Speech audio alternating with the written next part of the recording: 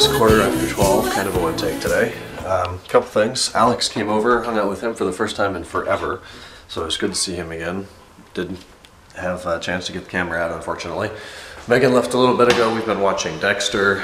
Um, earlier today, I was productive. I came out here with the, uh, the T5i and finally filmed an update video on this thing. There's been several requests.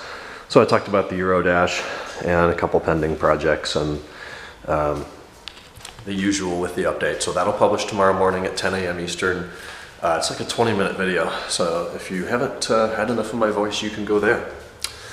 Otherwise, kind of a slow day here at home. Got through a bunch of mail, stuff like that. I am going to go to sleep. Um, tomorrow, Roz and I talked about going to the pool, so we may do that. Go swim a little bit. Um, that's all I know so far, though. And there's a game tomorrow night at Indiana, so I'll watch that. But uh, I'll talk to you guys tomorrow on what is it, Wednesday. Good night.